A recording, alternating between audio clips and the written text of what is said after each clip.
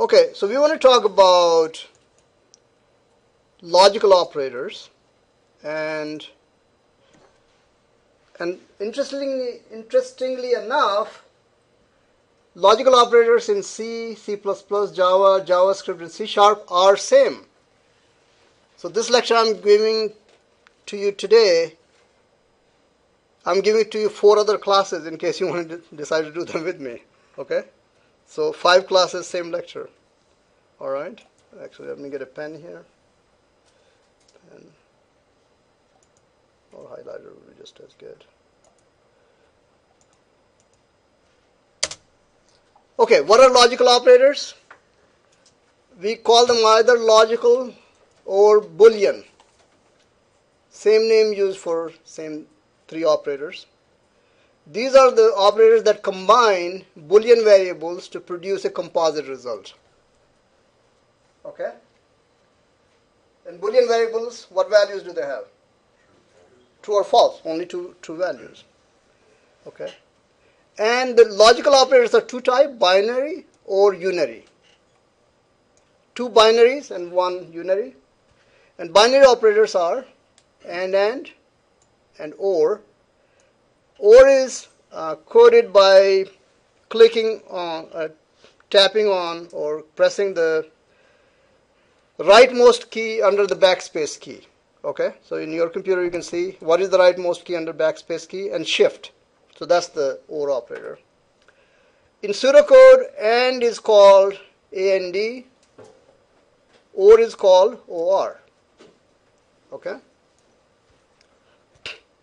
The unary operator is just one, which is negation, which is exclamation, or Unix people call it bang. It's also called in pseudocoding language the not operator.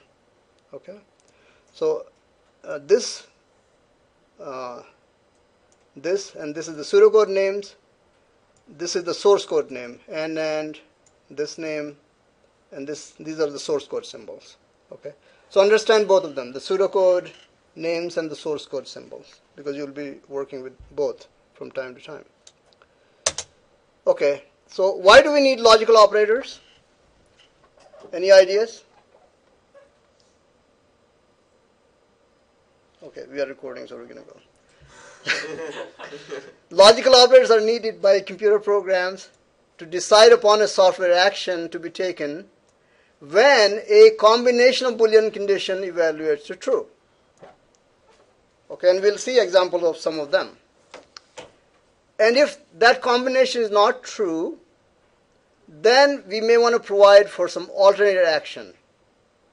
Okay, if combination boolean condition is false, then we may provide an alternate action, which is the else block. Okay, and we're going to show, show some pseudocode examples for the case when combination boolean condition is evaluating to true. Okay.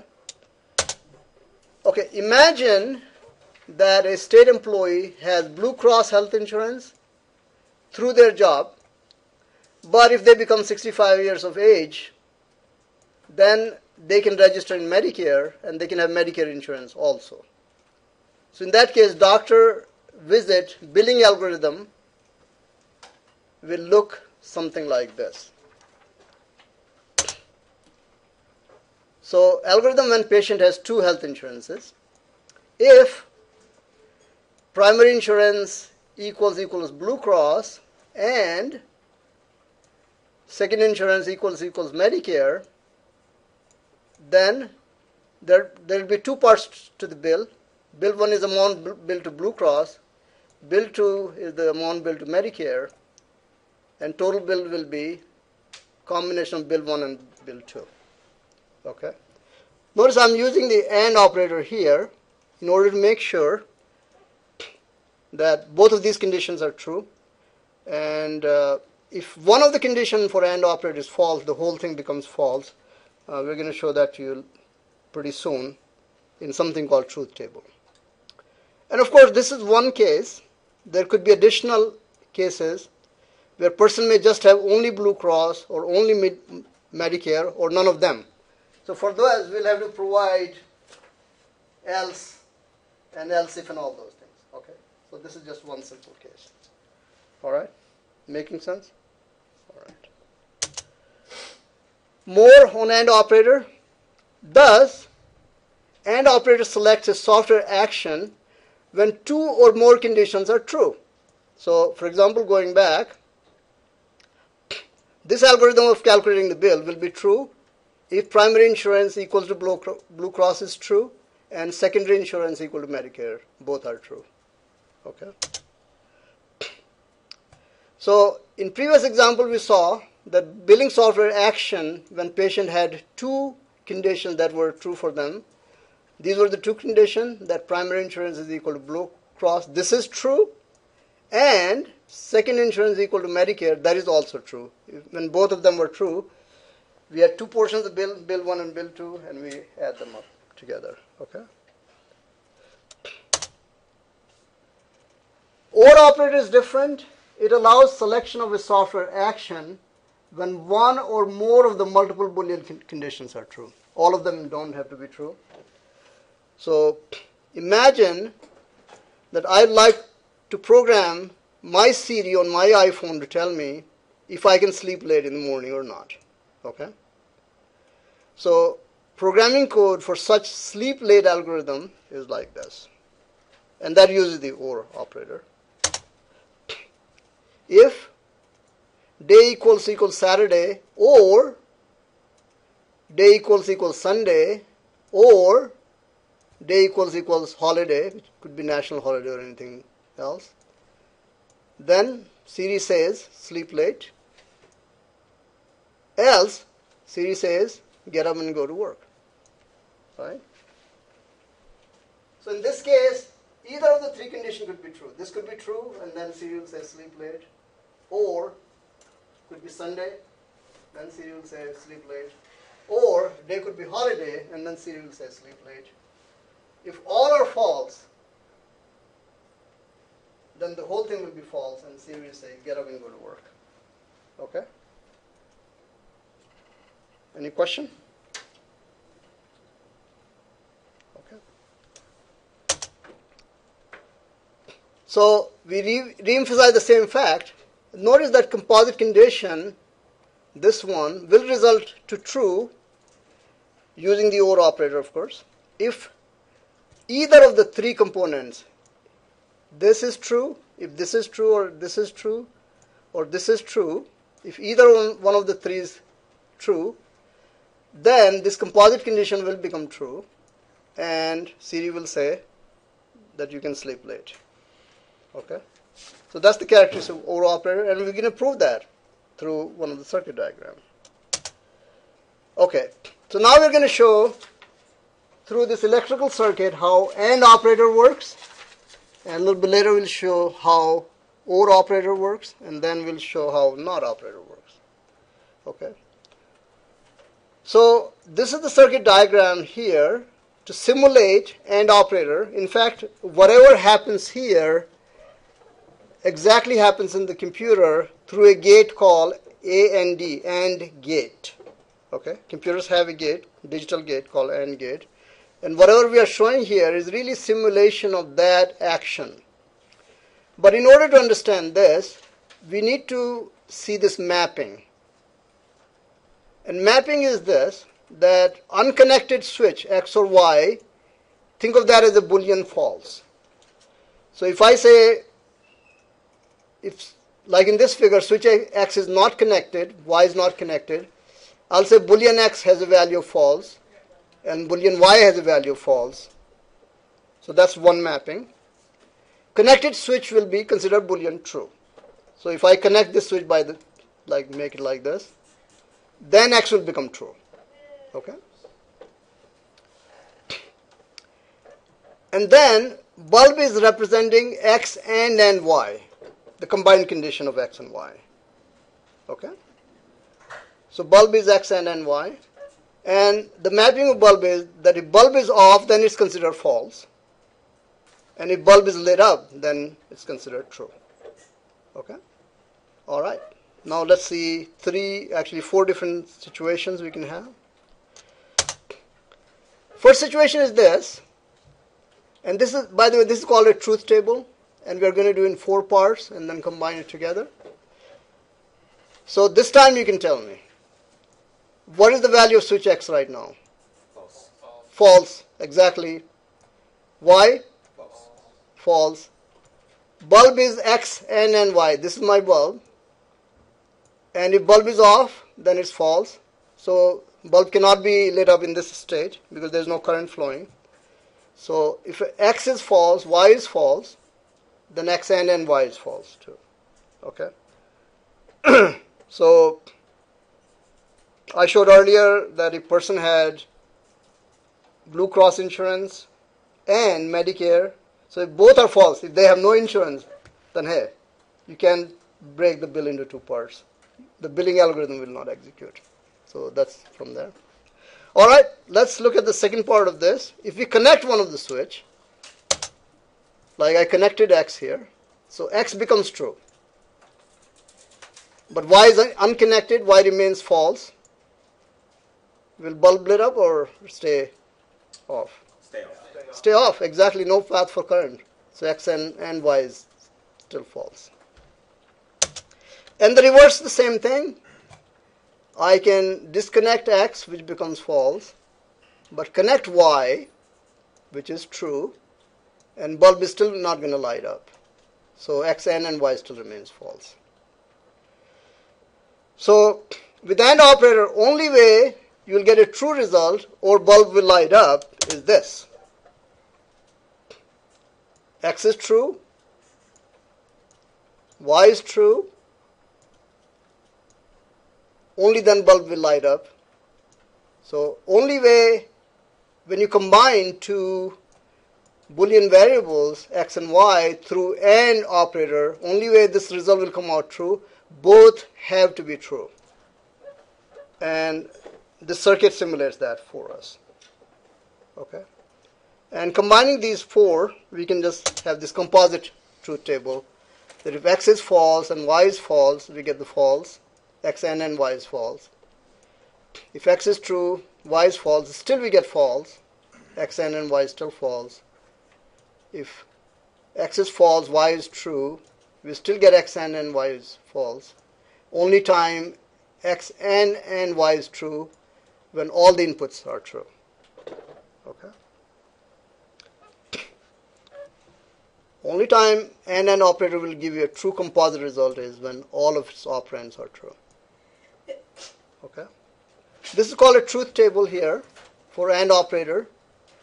You should remember it, you should memorize it. It's not very hard to do if you remember the diagram and four parts of this diagram, and that's that's in the PowerPoint as well as the ebook has that too. So everything I'm saying here is in the PowerPoint and ebook both. All right. This and this video will have that, that as well. Okay. Let's look at the OR operator. Okay. By the way, AND operator I just discussed, and its truth table will work in all these languages. Possibly in more than that, but certainly I know for sure might work in PHP and Python too, but in these languages it'll work. So if you learn this thing, you're you have already learned into these five languages: C, C++, C Sharp, Java, and JavaScript. Okay, for OR operator, we have this kind of circuit diagram, which is in parallel. So we have two switches. This is my X, parallel to that is Y. And mapping rema- remains the same. That unconnected X or Y is, represents Boolean false. Connected X and Y represent Boolean true. Okay, this should be OR by the way. So can you make that correction in your handouts? This should be X uh, or Y. So my PowerPoint is wrong in that. So on this one, so bulb is in this case X or Y, and bulb off is false, and bulb lit up is true. So there's an error here. You just this is X or and Y. Okay. Okay. So let's look at that. X is false, Y is false. Is there a way for current to flow? No. So false, false, false. So when x and y are false, x or y will also be false. Okay. But something interesting happened in this case if I connect one of the switches. There you go. I connect this switch. Now there is this path for current to flow. See, I'm going to draw the path. See? So in this case, bulb will light up. Bulb will light up. So that's where OR operator is quite different from AND. That I made one input to be true, other could remain false, but X or Y will be true. Okay? And that, again, there's a logic gate in computers which is called an OR gate. Okay? Which works just like this. If I make this false and make this true, same thing, this time, of course, current doesn't flow through this one, but it has another alternate path, like this, like this. So bulb lights up again. Okay. So x could be false, but as soon as y is true, x or and y will also be true. Okay.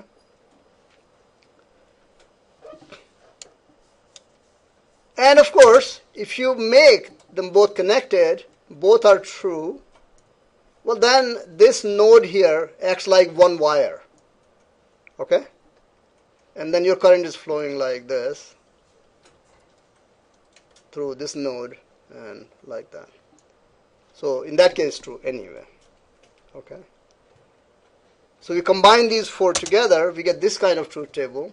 Only time OR operator will give you false when all the inputs are false. But as soon as one becomes true, or both become true, then it gives you the true result. Okay? Make sense? All right. Last operator, the NOT or negation. Pseudocode is called NOT. Source code is called bang or the exclamation. And it's used that sometime a Boolean condition is better coded as negation of some other condition. Okay? In such situations, the negation is used on an operand. And this is unary because it just needs one operand only. And what negation does, it flips a true result into false and false to true. Okay? I use this a lot in loops. Uh, not so much in if and else, but when we do loops, you'll see use of this one. And this is the circuit for the negation operator. This one uses a transistor. Here's a transistor. And transistor uh, has two ways to apply voltage because transistor has three terminals, so you could apply two voltage to a transistor. One voltage is here, the battery. Another voltage gets applied to this terminal here basically you can think of that this terminal got uh, connected to another battery actually plus minus something like that. Okay. And this will be some reason, reasonable voltage 5 6 volt 10 volt something like that. Okay. So here since we have unary operation there's just one switch. Unary just one switch. Okay and the same thing, switch X unconnected will be false, switch X connected will be true, and bulb on will be true and bulb off will be false. So same, same thing except we are using the transistor. So now we look at the truth table for the negation operator, part 1. So in this condition, what is the value of the Boolean operator here? False, because unconnected when transistor is unconnected, what happens is that this voltage applied to this terminal flows through the bulb and bulb lights up. Okay. So in this case, if input is x is false, negation of x will be actually true. Okay. But as soon as I connect the x, you'll see the effect in the next slide. What happens is that transistor becomes conducting and it short circuits this voltage. Okay. As soon as you connect the switch, transistor becomes conducting actually. And short circuit that voltage and bulb goes off. Which means when X is true, negation of X will be false. Okay. So it just flips the uh, type from true to false, false to true. And that's the composite truth table. If X is false, the negation of X will be true. If X is true, negation of x will be false.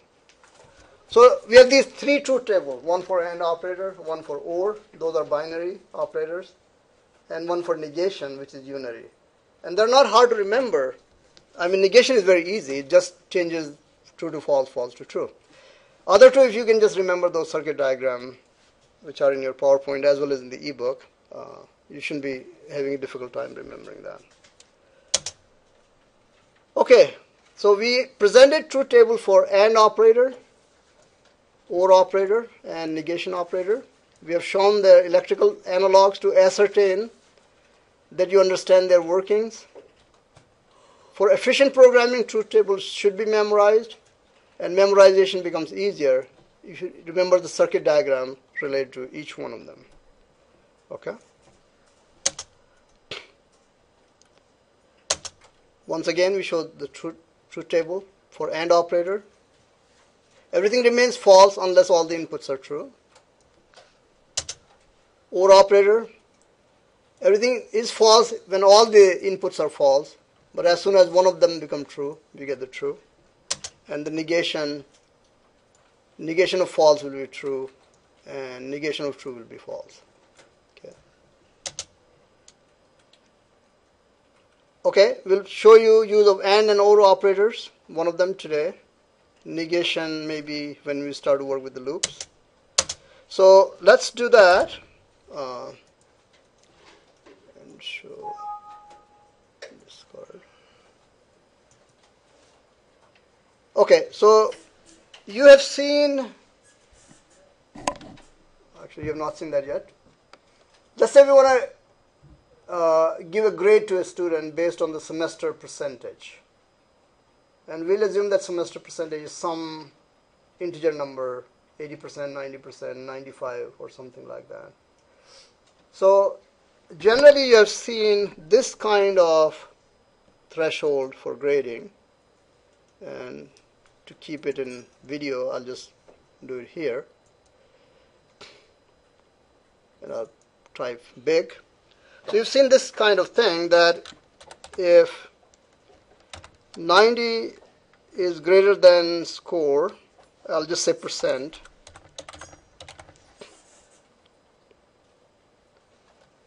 and percent itself is greater than or equal to 90 then grade is A.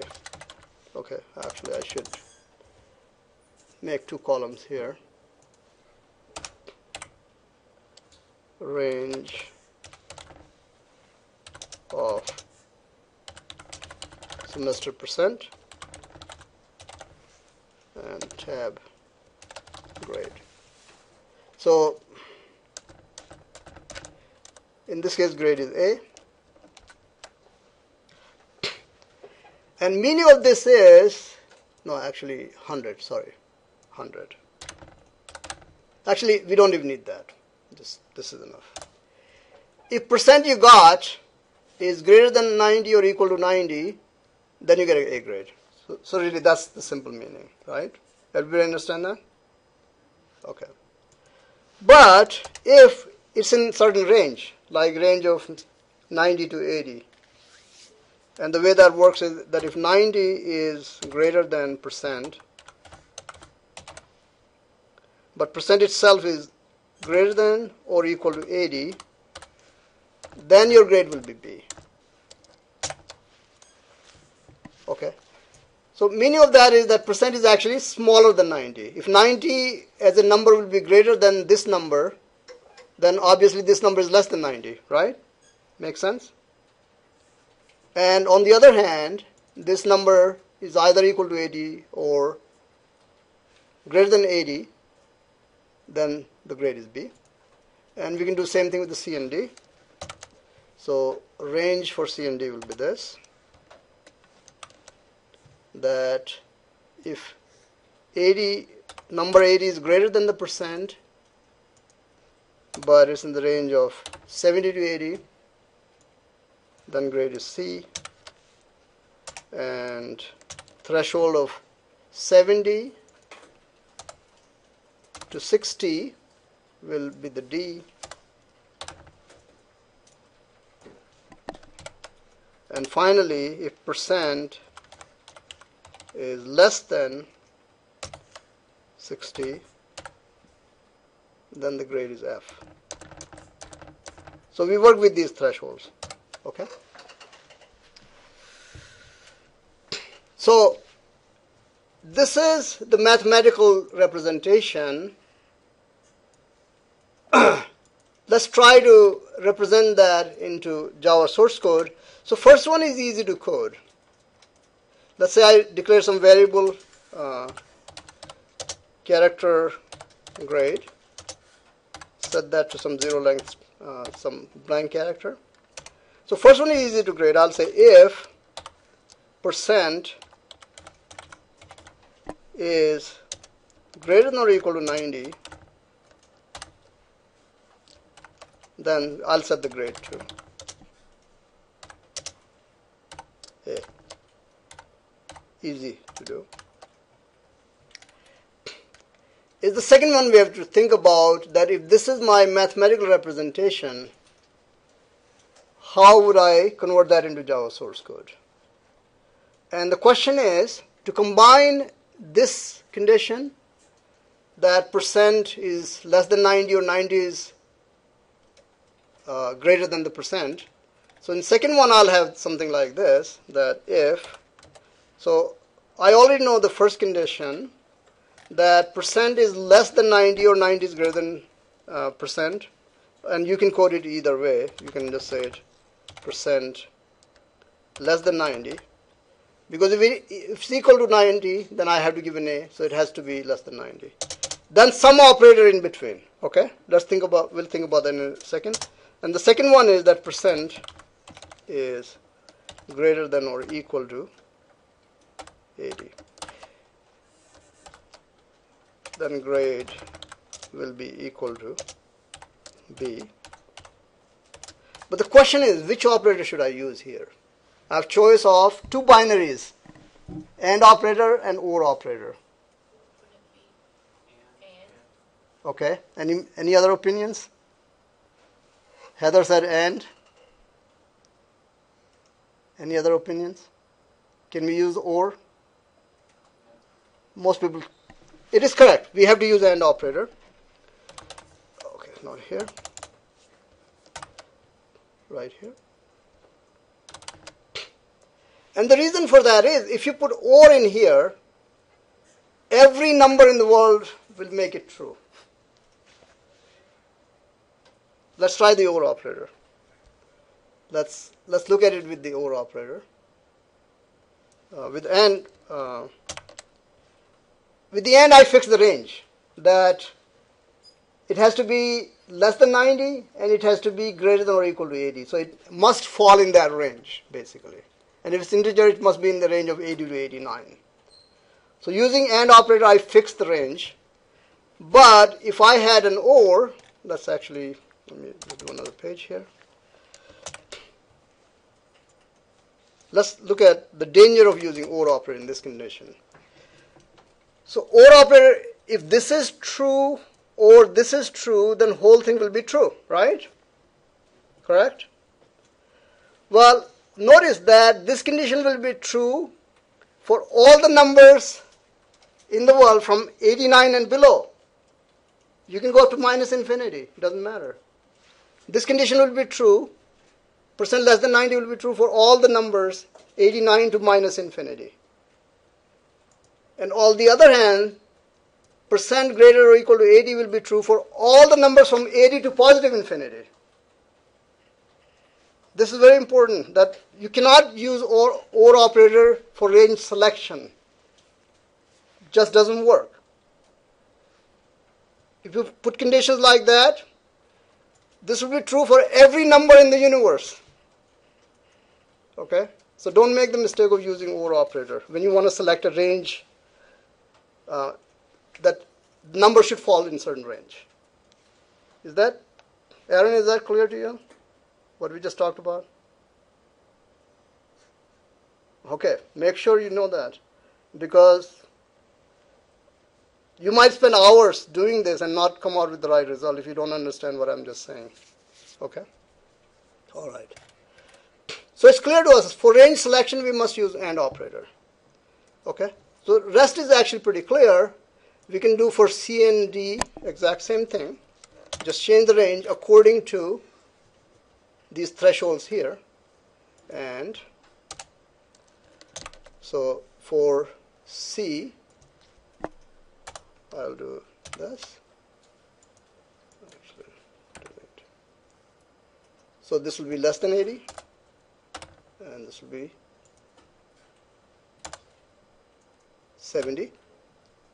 And for D, we'll just change the threshold again between 70 and 60. So for D, it'll be less than 70,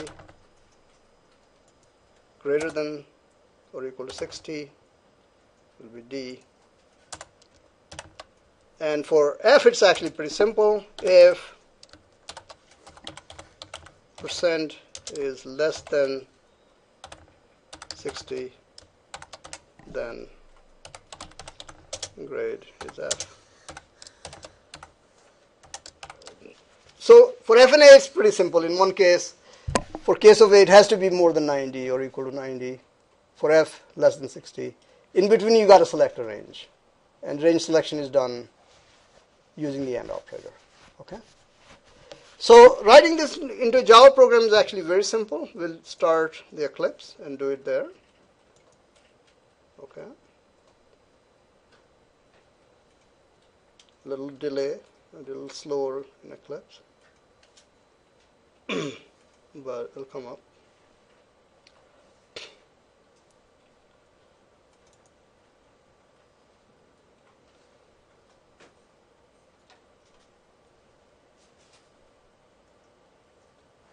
Okay, coming up, coming up.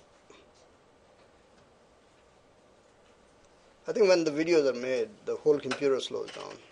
That's part of it, I think. So it's loading workbench uh, so slowly.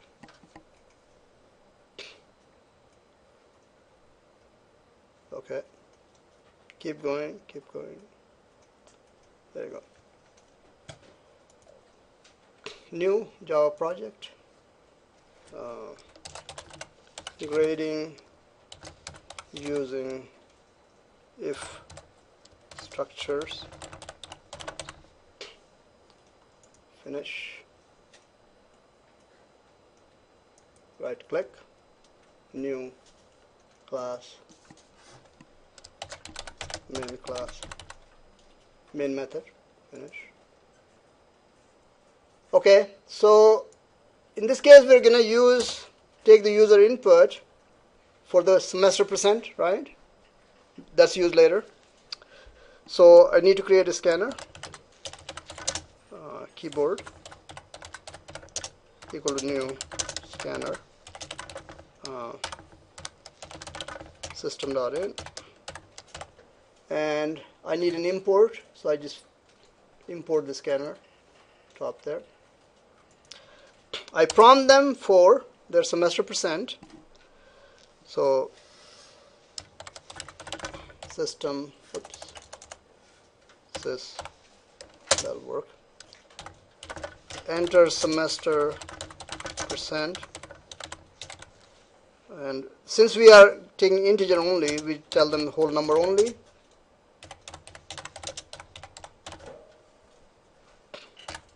And we define a variable int percent.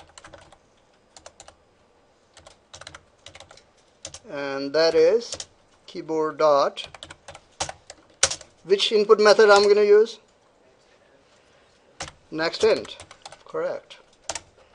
Whole number next int. And now I got the input I can do my thresholds. Really it's actually pretty simple. I can just copy and paste that code for I need to declare that of course. My quotes will have to be changed because quotes don't transfer from Microsoft Word to uh, Java program but the rest will work. So quotes is not going to work. I'll just have to do the quotes again. And same thing here. New quotes other than that it's okay change the codes.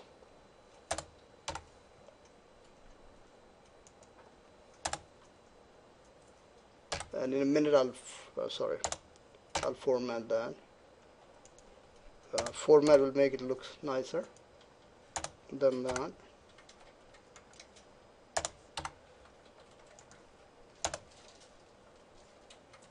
Okay. You can type your code any way you like. Okay I forgot the semicolon here but you can do right click source and format and it'll, it'll make it very pretty okay? So don't worry how you type the code. Right click uh, source format. It'll just fix your whole uh, code. Won't be sloppy looking anymore. Now I can print their semester grade right? Your semester grade is just print the grade here. Okay we'll run this program.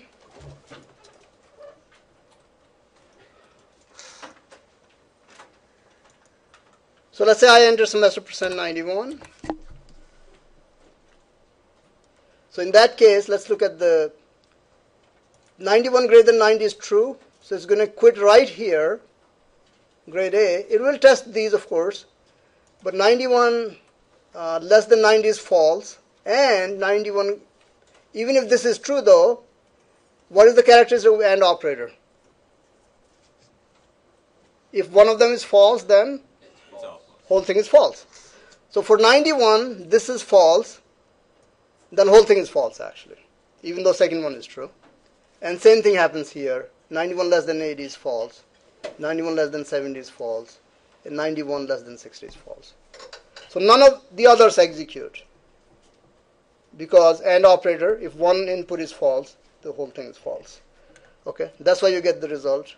Uh, if I press the enter key the grade is A. Okay? We'll enter something in the range of 80 and 90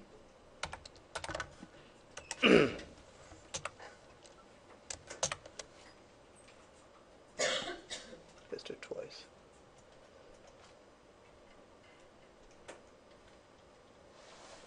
Okay, let's take off from here to here.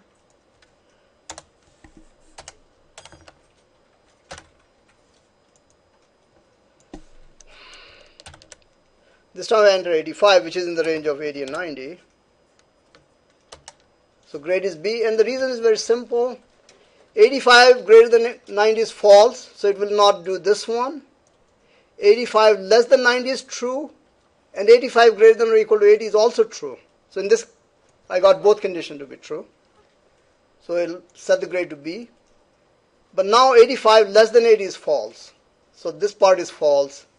So even though this is true, the whole thing is false, and same thing everywhere else. So that's why uh, this time only this part executes. Others don't. So we were able to do the range selection. So get that result. Okay? You can check it out for C, D, and F. When you go home, you can do it. Question? Okay. So that's how you can use the AND operator. All right. Okay. So this works, of course, not a problem. But there's a little bit of a slowdown in this program. And the slowdown is this, that let's say I had percent equal to 91. Then ideally 91 greater than 90 is true so really, my job is done right here. But look what it's going to do. It's still going to test this one, the 91 greater than 90 would find it false, but it still has to test it.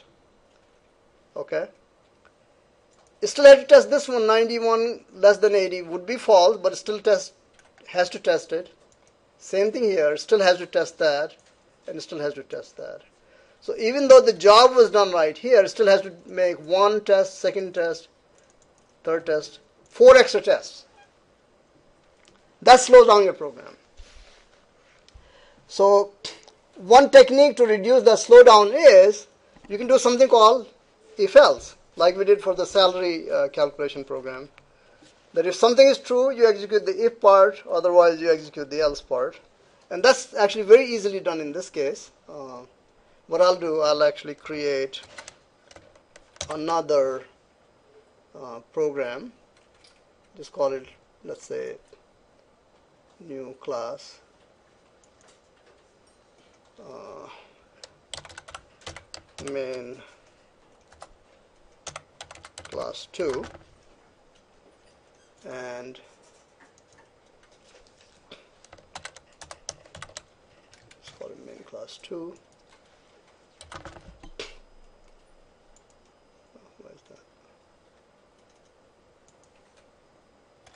Okay, so here all I have to do really is very simple. I just put an else here. And I put an else here. And I put an else here. And I put an else here and last one you don't even need to even check else is enough for the last one but notice all of a sudden this is what happens actually if my percent was 91 91 greater than 90 is true grade set to A Notice rest of that is under else block. And you do remember that, that out of if and else, only one can execute. So everything else is skipped. All of a sudden, you removed four extra comparisons and speeded up your program that many times, as far as the comparison part is concerned. Okay? What we just did is called nested if and else much faster in those cases where out of many conditions you should have only one outcome. Okay? All you have to do is take a structure like this, put an else between uh, each subsequent continuous, each uh, if that is next to each other. Okay? Now if percent was 85, well, 85 is still going to have to do this comparison, of course. 85 greater than 90 is false, so it won't execute that. Then it enters the else block. Then it compares uh, 85 less than 90 is true, and 85 greater than equal to 90, 80 is also true. It'll do the grade B, but then rest of that is under else block, so all that is skipped. So this time you reduced at least one more, uh, two comparisons rather than I mean, it was fastest for the something 90 and above. But still, in this case also, you save time. Only case it doesn't save the time when the grade is df. Then it has to do all those. That's one part of it. That's one speed improvement. There's second improvement also, of course. That notice that if if score percent is let's say 85, then it's already tested that percent is neither equal to 90 nor greater than that. So if percent is neither 90 nor greater than 90, what possible value can it have? Less than 90, right? That means I don't need to test for this. I already know. It's not, it's not going to get here if it's not less than 90. So I can remove that extra comparison also. That's the second speed improvement don't need to really bother with this because already this test already ascertained that it is actually less than 90. So you can drop this first comparison from all the conditions too. There you go. Gone, N not needed, gone, not needed, gone, not needed. Two speed improvements you can do when you use nested if and else. Okay? One is only one will execute. For uh, A grade is a big improvement, but subsequent also is, is like more and more improvement. And second, you don't need to do two dual comparisons. Okay. So this program is called nested if and else. Uh, and works beautifully for those cases when out of many outcomes you need to execute just once. Okay. Uh, ebook has uh, more stuff on that. It shows a bunch of boxes that you can go from one box to another to another, and I'm just going to quickly show you that. So let's go here. There's a visual, better visual representation of okay, nested if else, basically. Okay, selection.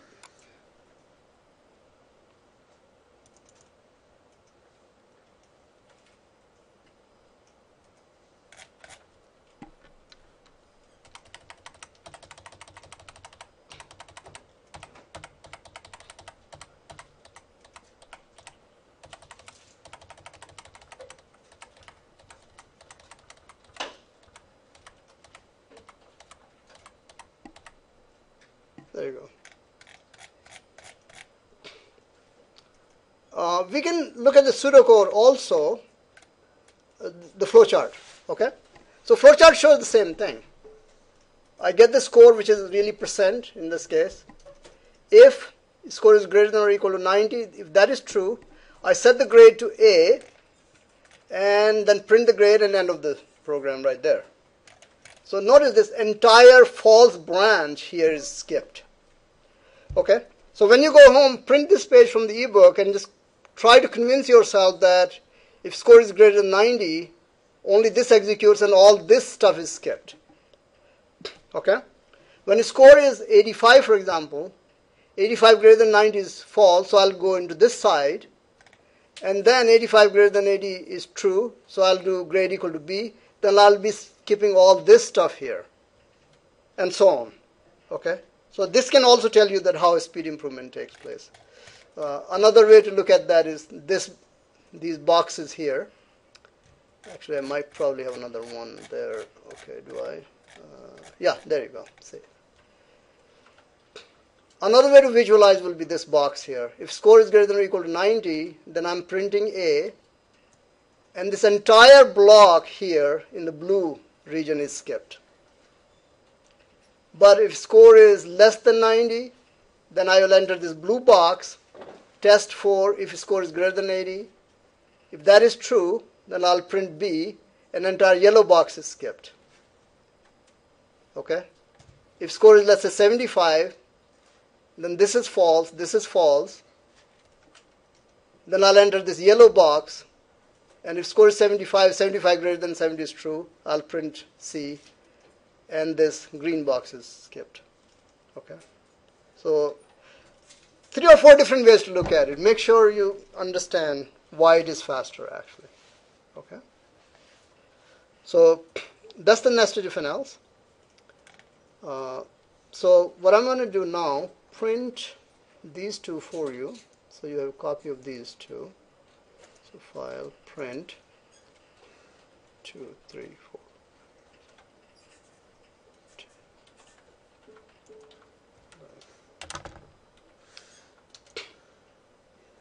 Can somebody go to printer and distribute them while I work on this recording just a little bit? So that's the first one, and this is the nested one here.